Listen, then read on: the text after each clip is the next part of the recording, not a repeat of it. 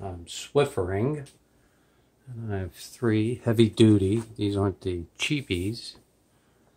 Paper towels, the half sheets. And I just tried using something. And I'm not going to put it up. Didn't work. These work so much better. And then spray with your cleaning solution. Right now we're going to use some